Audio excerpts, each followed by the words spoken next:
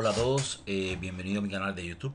Eh, mi nombre es Marlon y en este video hablaremos de un nuevo módulo que estamos desarrollando para Odoo 10 eh, que lo que hace es llevar la nómina de pago de facturas.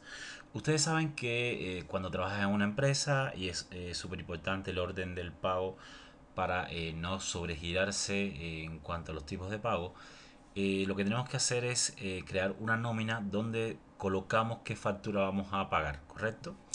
Bien, para ello lo primero que tenemos que hacer es, por supuesto, con el usuario eh, de nóminas de pago, es crear una nómina de pago. Bien, vamos a guardarla, se crea automáticamente con un consecutivo.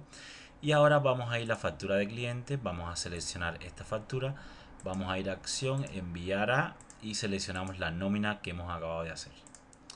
Bien, vamos ahora a facturas de proveedor, seleccionamos todas las facturas de proveedor, acción, enviar a, seleccionamos la nómina y enviar a nómina.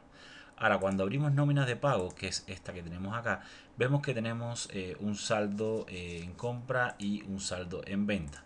Por tanto, ahora si vamos a imprimir nómina a pagar, me da un reporte eh, de cuánto tengo que, tengo que cobrar y cuánto tengo que pagar en esta semana.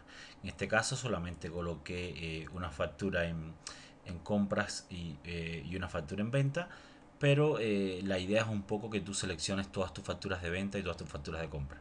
Este comprobante puede ser firmado por el gerente para autorizar el pago y una vez que esté autorizado el pago, entonces eh, esta nómina, digamos, te queda como un registro de qué fue lo que, lo que pagaste en cada uno de los periodos. Bien chicos, eso es todo y nos vemos en el próximo video. Muchas gracias.